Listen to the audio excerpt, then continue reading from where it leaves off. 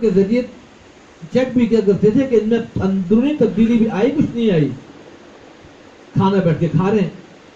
حاجی صاحب نے مزید ان کو امتحان لینے کے لیے ایک مزید تڑکا لگایا کہ میں رشید احمد، یہ بھی غنیمت جانو کہ ہم نے سرخان سے اٹھا کے دال پکڑا کے تمہیں کونے میں کمرے میں بٹھا دیا۔ ورنہ تم اس قابل تھے کہ تمہیں جوتوں میں اٹھایا جاتا۔ یہ کہہ کے ساتھ میں چہرے کا تاثر بھی دیکھ رہے کہ ان کا رد عمل کیا آتا ہے۔ تو وہاں سے جو رد عمل آتا ہے مرید کا، کہ مرید بھی وقت بہت بڑے عالم اور خود شیخ بھی بڑے عالم۔ تو مرید کا جواب آتا ہے کہ حضرت جی آپ بالکل سے فرما رہے ہیں۔ میں تو واقع جوتوں کو لایا تھا، اتنے بھی لا کے آپ کے جوتوں میں بیٹھوں گی تو آپ کی زیادہ نوازی کہ آپ نے مجھے اپنے ہاتھ سے کھانے نکال کے کمرے میں بٹھا دیا۔ یہ بھی آپ کی بڑی شفقت محبت ہے۔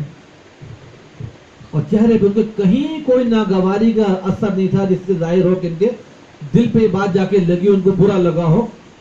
فوراً برجستہ جواب دیا کہ یہ بھی آپ کی بڑی زیادہ نوازی کہ آپ نے مجھے اتنی عزت دی کہ یہیں کمرے میں کونے بٹھا دیا، ورنہ میری تو واقع نہیں اوقات میں جوتے میں بیٹھوں۔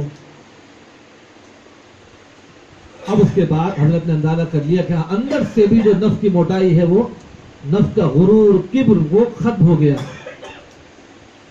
حضرت نے جب یہ جانے لگے، ان کو خلافت سے بھی نوازا۔ خلافت بھی عطا فرمائے کہ مرید بھی ہو، خلافت بھی تمہیں ملی۔ کہنے حضرت جی آپ نے بیت کے لیے بڑی بات ہے، اب آپ خلافت بھی مجھے دے رہے ہیں۔ میں تو اپنے اندر کچھ بھی نہیں دیکھتا، میں تو بالکل کچھ ہو نہیں، آپ نے مجھے خلافت جیسی نعمت دے دی۔ فرمانے لگے ہاں اسی لیے دیے کہ تمہیں اپنے اندر کچھ نہیں دکھتا۔ اگر تمہیں اپنے اندر کچھ دکھ رہا ہو تو کبھی خلافت نہیں دیتا۔ جب دیکھ لیا کہ اب تمہیں اپنے اندر کچھ نہیں دکھ رہا، تبھی تمہیں خلافت دے رہا ہوں۔ ایک موقع پہ حضرت حاجی امداد اللہ صاحب رحمۃ اللہ علیہ نے پھر انہیں سے حضرت مولانا رشید احمد گنگوئی رحمۃ اللہ علیہ سے پوچھا کہ بیت ہونے سے پہلے اور بیت ہونے کے بعد، شیخ سے تعلق جوڑنے کے بعد اور تعلق جوڑنے سے پہلے کیا زندگی میں فرق محسوس کیا؟ تو حضرت فرمانے لگے، حضرت مولانا رشید احمد گنگوئی صاحب کے، حضرت جی آپ سے بیت ہونے سے پہلے یہ تھا کہ نصوص قرآنیہ یعنی قرآن کریم کے جو احکامات ہیں، ان میں بہت سارے ذہن میں اشکالات آتے تھے، تعارض محسوس ہوتا تھا کہ یہاں پہ تعارض آ رہا ہے، تعارض کہتے ہیں کلیش کو۔ کہ بہت سارے احکامات میں تعارض آتا تھا، اشکال آتے تھے، ان کے جواب ڈھونڈتا تھا۔ کہ اس کا کیا جواب ہوگا؟ وہ کیفیت اب ختم ہو گئی کہ بغیر کسی اشکال کے سارے کے سارے نصوص قرآن بالکل سمجھ میں آنے لگے، الحمدللہ۔ ایک تو مجھے یہ فائدہ ہوا۔ دوسرا فائدہ کہنے لگے یہ ہوا کہ مکروحات شرعیہ یعنی جو چیزیں شریعت میں ناپسندیدہ تھیں، وہ پہلے بھی میں نے ناپسندیدہ تھی، ان پہ عمل نہیں کرتا تھا کہ مکروحات ہیں۔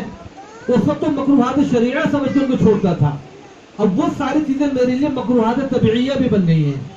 یعنی نیچرلی مجھے چیزوں سے اب کراہت آتی ہے۔ طبیعت تو ان چیزوں سے تار ایک بزاری ہے۔ پہلے صرف شریعت کی وجہ سے تھی۔ اور تیسری بات یہ فرمائی کہ تیسری کیفیت یہ ہے کہ میں ظاہر مفتی ہوں دارالاسلام میں بیٹھتا ہوں فتوے دیتا ہوں، ہر قسم کے لوگ آتے ہیں۔ برا بھی کہتا ہے، وہ بھلا بھی کہتا ہے، تعریف بھی ہوتی ہے برائی بھی ہوتی ہے۔ تو میں کسی کی تعریف اور کسی کی برائی کی پرواہ کیے بغیر فتوے کا جواب جو صحیح ہوتا ہے شریعت کے مطابق وہ لکھ کر دیتا ہوں۔ یہ مجھے اپنی زندگی میں فرق محسوس ہوا آپ سے تعلق جوڑنے کے بعد۔ تو حضرت فرمایا کہ الحمدللہ، اللہ پاک نے آپ کے اندر تینوں سے رحمتیں پیدا کر دی کہ اللہ کیا کی جب کسی پہ مہربانی ہوتی ہے اس کو علم عطا فرماتے ہیں۔ تو پہلی جو صفت ہے کہ آپ تعلق جوڑنے کے بعد اب نصوص قرآنیہ میں کوئی اشکال نظر نہیں آتا، اللہ نے آپ کو علم کی دولت سے مالا مال کر دیا، صحیح علم آپ کو مل گیا۔ دوسری کیفیت یہ کہ عمل، اللہ کو عمل پسند ہے کہ عمل کرے انسان علم کے اوپر تو اس سے برکت ہوتی ہے۔ اب الحمدللہ، شریعت کی جتنی ناپسندیدہ چیزیں وہ آپ کو طبعاً بھی بری لگنے لگے تو اللہ نے آپ کے اندر عمل کی بھی پوری قوت و صلاحیت پیدا فرما دی۔ اور تیسرے نمبر پر اللہ کو جو چیز پسند ہے، سب سے زیادہ جو اصل جڑ ہے، اخلاص۔ کہ جو کام ہو، اللہ کے لیے ہو۔